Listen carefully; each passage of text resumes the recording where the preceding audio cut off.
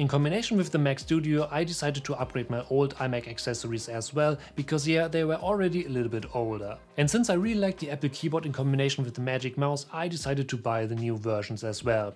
Because yeah, it's minimalistic, easy to use and the whole package just goes hand in hand with my own workflow. And since I don't buy new keyboards or a new mouse that often, I think it's okay to spend some more money on that to actually get the right one for my own workflow. On top I really like the fact that they are rechargeable now so I don't need to change these batteries all the time. In this case I can easily connect the cable to charge them and that's it. So if you like the space gray or black version of the Magic Keyboard and mouse, I can highly recommend them.